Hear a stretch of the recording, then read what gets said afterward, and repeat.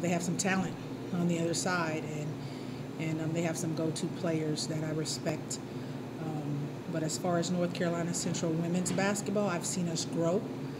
Uh, I've seen us in the past three weeks um, become the team that I anticipated us being.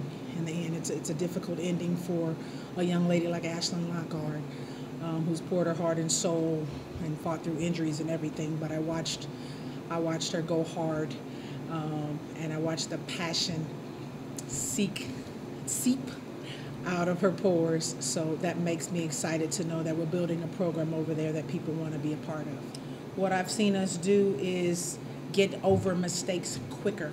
So our recovery time from, um, you know, as opposed to letting letting things decline us throughout the game, I think we were able to snap back and recover from mistakes faster. I think we were able to receive instructions from our peer better, and I think our, our younger players were able to be more vocal and um, our team began to hold each other accountable a little bit more without being sensitive.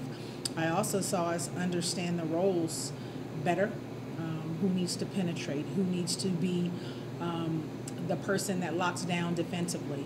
And I think I saw some of our people that wouldn't talk at all in the beginning became vocal, um, especially on the defensive end.